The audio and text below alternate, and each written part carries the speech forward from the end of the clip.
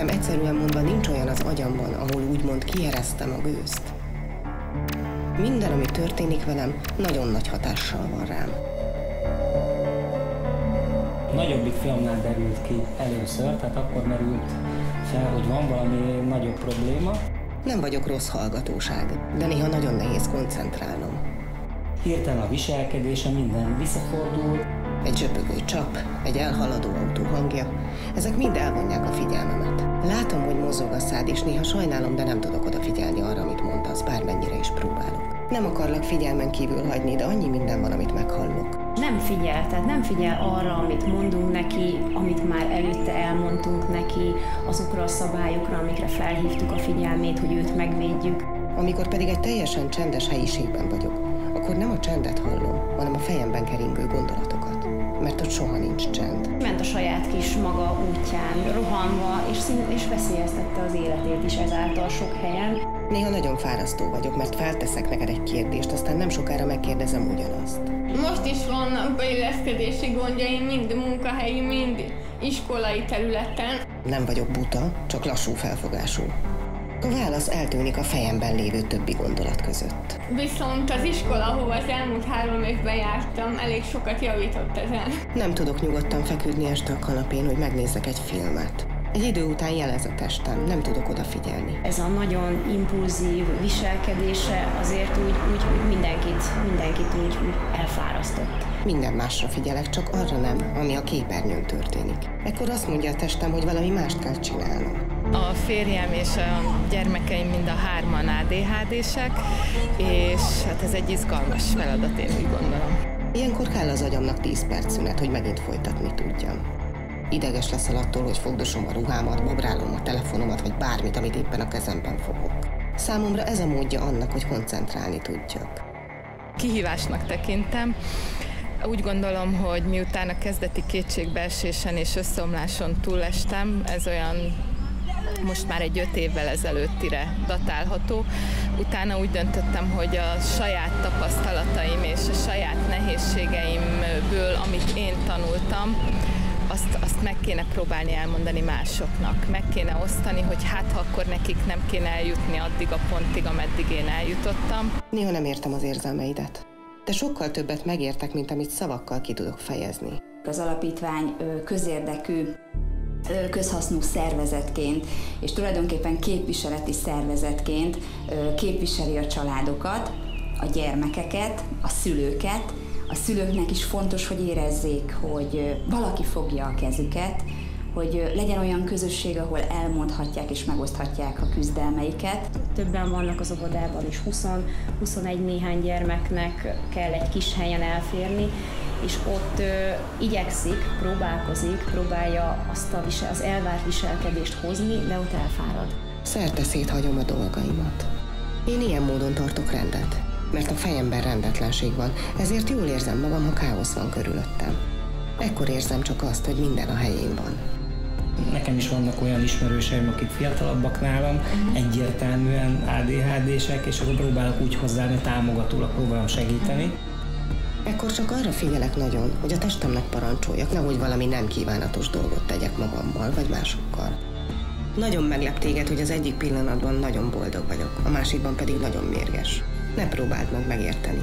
Amikor elkezdtem oda járni, előtte nem volt normális állásom nagyon, és közmunkában dolgoztam, ugye, és voltak olyan pillanataim ott, amikor ö, le, hát megálltam, és 10 percen keresztül bögtem, hogy nekem melegem van, és én már nem bírom ezt tovább, és ha most nem történik valami, én itt fogok megbolondulni, de a végén, amikor elkezdtem az iskolát, akkor viszont nagyon pozitív élményeim lettek, mert teljesen megváltozott minden. Az érzelmeim irányítják a tetteimet, teljes mértékben. Ahhoz képest, hogy eleinte ott se szerettek túlzottan, az elmúlt három év alatt elég szépen befogadtak, és nagyon jól is éreztem ott magam. Ezek pedig gyorsan változhatnak.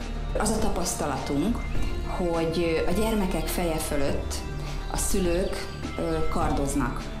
Értem ez alatt azt, hogy a felelősséget ö, mindenki áthárítja másra, a szülő áthárítja az iskolára és a pedagógusokra, az iskola és a pedagógusok pedig visszadobják a labdát a szülőknek, hogy ezek a gyerekek neveletlenek és kezelhetetlenek. Kezeletlen ADHD-s gyerekek esetében nem szoktam, hogy túl kell élni az általános iskolát. Nincs olyan, hogy 30 főből 29 teljesen elfogadóan tudjon működni azzal az egyel szemben. Nincs olyan, hogy ne kezdjék ki, nincs olyan, hogy ne sérüljön. Nem lehetséges, hogy a mind a tizenvalahány tantárgyat ő teljes lelkesedéssel tudja tanulni, mikor neki akár egyet-kettőt is nagyon nehéz koncentrálni, figyelmét tartani. Tehát én úgy gondolom, hogy a legnagyobb problémák mindig az általános iskolában fognak lecsapódni. Azt gondoljuk, hogy itt mindenkinek nagyon komoly szerepe, és nagyon komoly felelőssége van abban, hogy ezek a gyermekek, akik egyébként a jövő társadalmát fogják képviselni, ö, egészséges felnőttekké váljanak. Az agyam állandóan dolgozik. Miért veszek össze gyakran másokkal? Egyszerűen azért, mert ki nem állhatom az igazságtalanságot, és nem fordítom el a fejem, ha mások bajba kerülnek. Muszáj, hogy elfogadóbbak legyünk, muszáj, hogy felismerjük az ő értékeiket is, és a, tulajdonképpen az értékeiken és a tehetségükön keresztül próbáljuk őket nevelni, tanítani, építeni. Mindenbe beleütöm az orromat. Ez a specialitásom. Ez azért van, mert nincs meg bennem az a gyávasság, ami sok emberben viszont megvan. Az ADHD nem egy elterjedt fogalom, ö, igazából egy megfoghatatlan dolog, ami nagyon összetett mégis, és ö, nagyon komplex megközelítést igényel, és nagyon sok szereplős. Tehát mondhatom azt, hogy közvetlenül érintettek maguk az ADHD-s gyermekek, illetve a szüleik, testvérek, család, de közvetetten mindenki érintett. Gyakran nem mérem fel tetteim következményét. Ezért olyan veszélyes helyzetekbe kerülök, amelyekben a másik embert még sajnálom is. Úgy reagálok, ahogy abban a pillanatban az érzelmeim diktálják. Nincs időm azon gondolkodni, hogy más emberek mit gondolnak erről. Elég gyakori ilyen dükitörései vannak, ami most már azért rövidül, meg lehet vele beszélni, tehát értelmére lehet hatni, de, de az indulatkezelési uh, dolgok azok, azok, azok a leggyengébbek, amik uh, működnek. Számomra nem az a fontos, hogy mit mondasz, hanem az, hogy hogy mondod. Nem is szeretek igazán ADHD-ról beszélni, én a mai kor gyermekéről beszélek. Ők tanítanak minket, minket felnőtteket, sok olyan ö, tulajdonságra, amit már elfelejtettünk, de egy alapvető erkölcsi érték. Belefáradsz abba, hogy gyakran elvesztem a kulcsomat, ha megyünk valahová.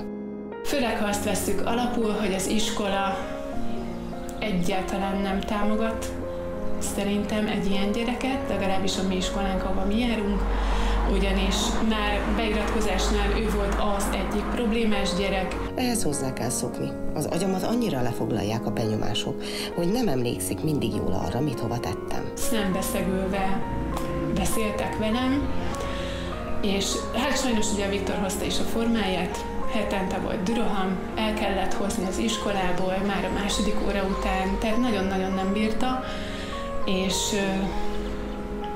tehát úgy kerültünk hogy a szakszolgálathoz, és hosszú rögös úton, hogy mégis mit csináljunk, ugye kerültünk ide.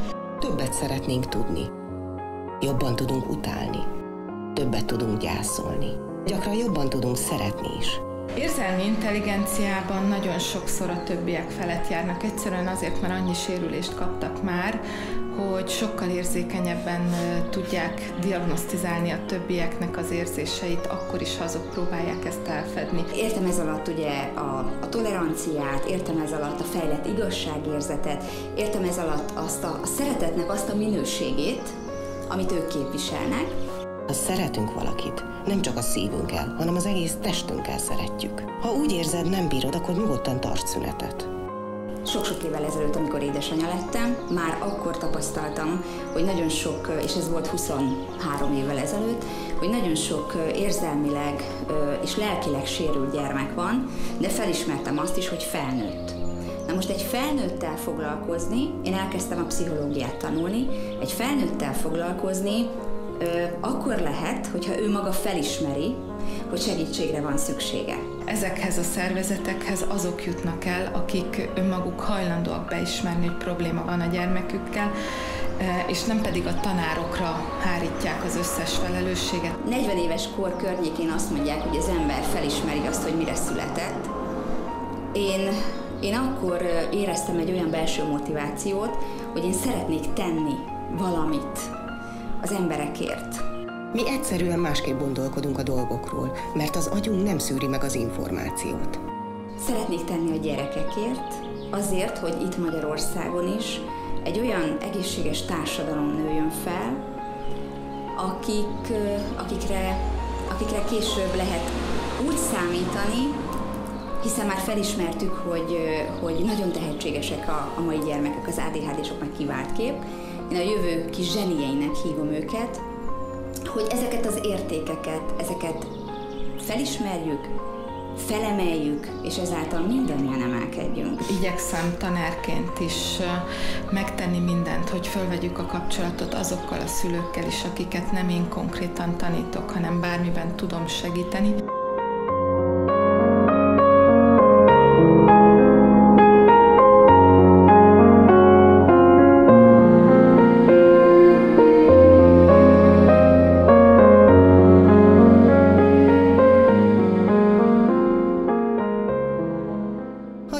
Magunkra. Nagyon stresszesek tudunk lenni.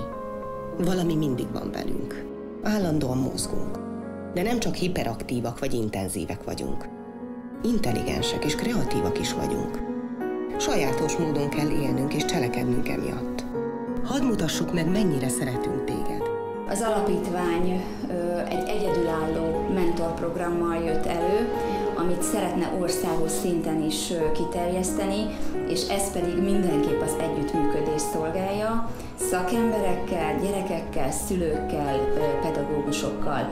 Értem ez alatt azt, hogy a gyermekek tanulását megtámogatjuk, egyéni igényeknek egyénileg a fejlesztéseket biztosítjuk, viszont, viszont a pedagógusok munkáját is szeretnénk hatékonyabbá tenni, és ebből csak tehát ebből a gyermek is győztesen jön ki, de, de mindenki, ez a win-win.